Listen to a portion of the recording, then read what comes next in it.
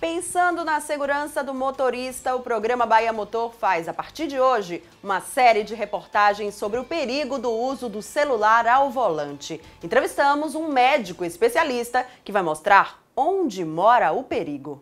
Jetta TSI, o esportivo disfarçado de sedã. Pois é, Daiane, hoje o Bahia Motor vai iniciar uma série muito importante para todos os condutores. Nós vamos falar do perigo que é dirigir e fazer o uso do aparelho celular.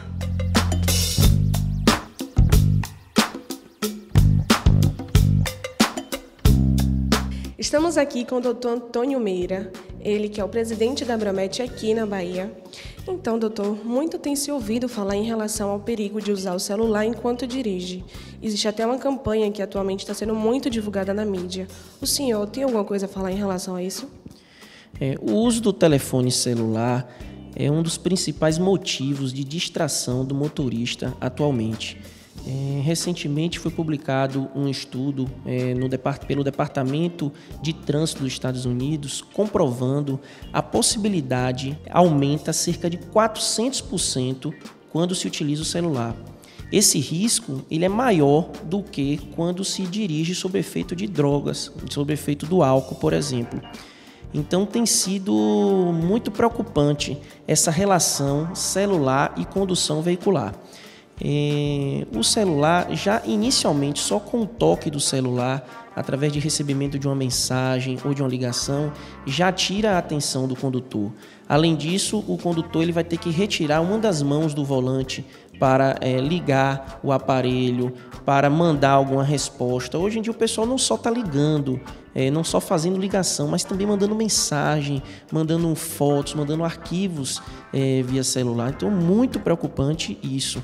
Então, a gente vê que um estudo desse que mostrar que cerca de 400% de aumento de acidente é, é, muito importante a gente destacar, orientar as pessoas sobre o risco e fazer com que essas pessoas não façam essa prática perigosa que diminui a segurança no trânsito.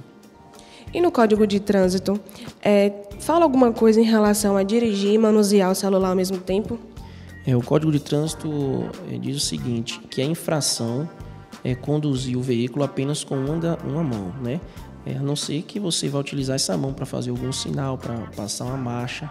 Então, no caso é, do uso do celular, então, manusear, segurar um aparelho celular enquanto dirige, é, vai entrar em vigor esse ano uma lei como infração gravíssima. Então, será infração gravíssima você manusear ou segurar o, o celular enquanto dirige. É, o interessante é que é, cerca de 70% das pessoas elas conseguem associar que o uso do celular enquanto se está dirigindo é um problema para a segurança no trânsito.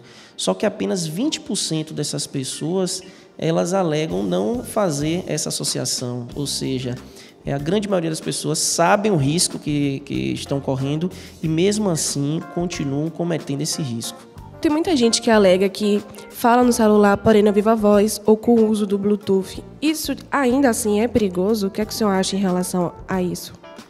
É, mesmo assim, continua é, sendo um grande risco. Por quê? Porque o problema de, do Bluetooth, o do Viva Voz, diminui realmente aquele malabarismo que a pessoa tem que fazer para pegar um celular, para procurar, para tirar a mão do volante, mas não consegue diminuir a, a questão da atenção. Porque mesmo usando o Bluetooth, o Viva Voz, tira a atenção da pessoa. E isso vai ser, é, vai ser, pode ser piorado a depender do conteúdo dessa conversa. Às vezes a pessoa está passando uma informação é, do, do, seu trabalho ou familiar, uma informação que possa causar alguma reação é, de ansiedade, preocupação com aquele condutor que está conduzindo aquele veículo, e aí tirar ainda mais atenção e poder aumentar as chances de causar um acidente. É, a Abramet, como a Associação Brasileira de Medicina de Tráfico, né, que congrega os médicos de tráfico, tem sempre tentado orientar é, os médicos de tráfico e a população em geral dos riscos, porque nós não aguentamos mais o número exorbitante de acidentes, de sequelas, de danos causados pelos acidentes. Os acidentes de trânsito representam a segunda principal causa de mortes no país. Então, teve a tecnologia que trouxe para a gente aí o freio ABS, é, e o airbag e vários outros fatores que vêm tentando diminuir essas sequelas dos acidentes. Em compensação, vem essa tecnologia que é o telefone celular, que é imprescindível para a gente, mas que temos que saber que vai trazer um, um, uma repercussão negativa imensa no trânsito se, essa, se a pessoa utilizar ele enquanto dirige.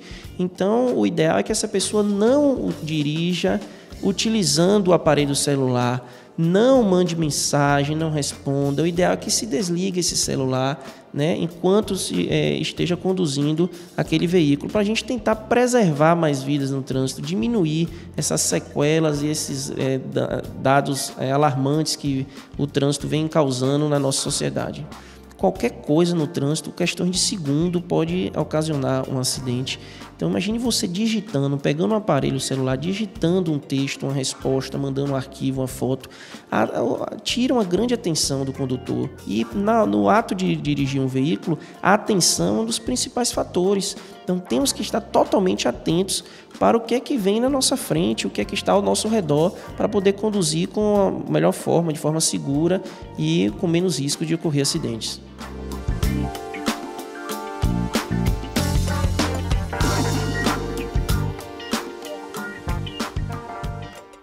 Jetta TSI, o esportivo disfarçado de sedã.